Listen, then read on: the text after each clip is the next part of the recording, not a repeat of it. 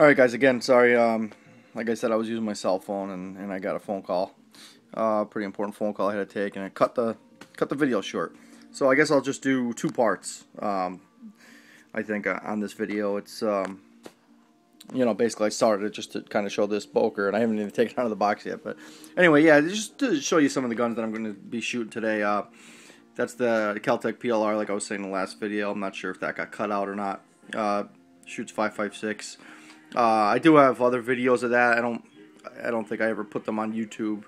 Uh, me shooting that and everything, and a friend of mine shooting that.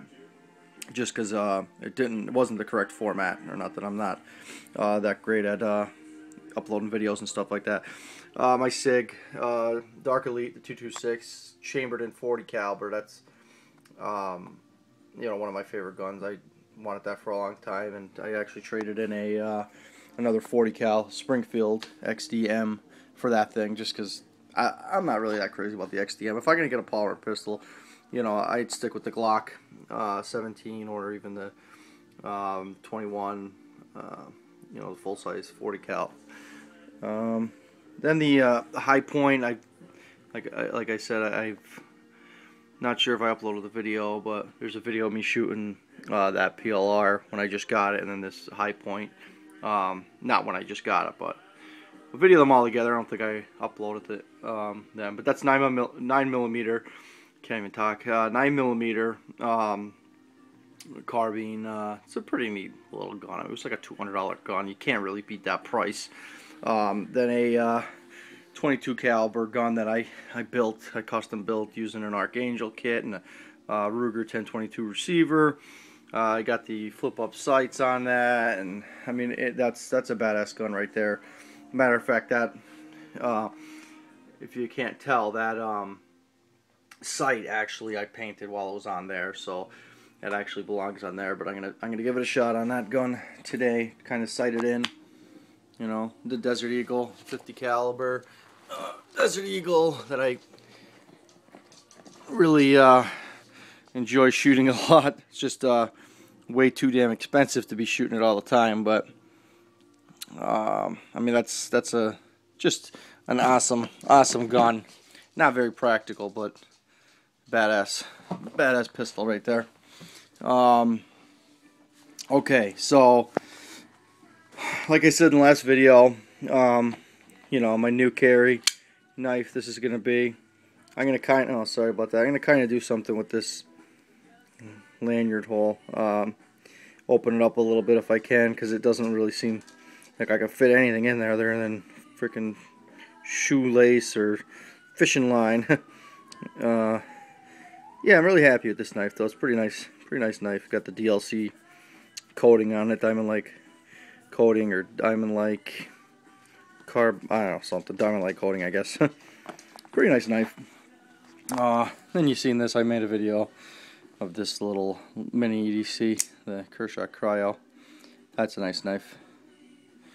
I like that a lot. It is a little bit heavy for its size, but I don't care. It doesn't really bother me, you know. Um, some other EDC stuff I have here, my my Quark Mini uh, 47s uh, flashlight.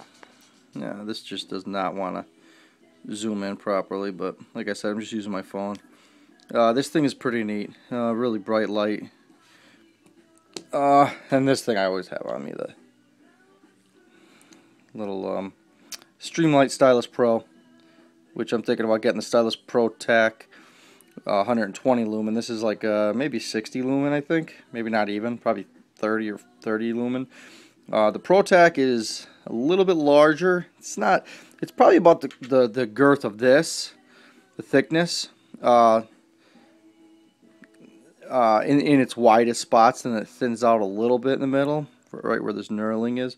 Uh, similar to this, it's just like a probably double the size of this, and it's called the Pro Tac, which is a little bit tactical look. It's got some spike spiked edges or sharpened up edges, kind of um, around the bezel kind of like this thing here has, if you could see, you know, a little bit of sharpened bezel for striking purposes. Um, also at that blade show, I said I, I held that 301. I, I picked this up. Uh, it was a custom knife. Uh, I'm not sure even the guy that that built it, that made the knife and the sheath and all that stuff. Um, here's another little thing. This is kind of either for a flashlight or he had on here already, or a um, like a fire steel or something like that. But I put uh, a little the mini. Um, kind of in there really good. Ah, that's my my boot. I'm actually have a little injury I got.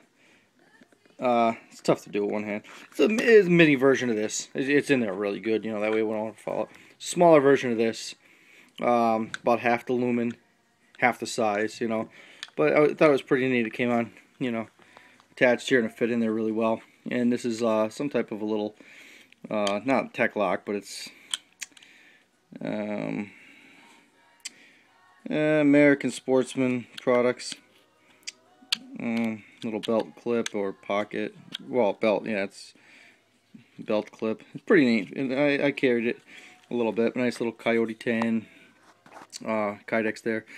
But this knife, I bought it off some guy. He was selling it for somebody else that made it. I did a little bit of uh, customizing to it myself. Kind of put a little bit of a swedge on it up here, rounded it off, and then um, put a little bit of extra jimping on there for up here for some uh, finer work. But this is uh, 1095 carbon, high carbon uh, steel, so it's oiled up really good. And um, it had still the grind lines on it when I got it.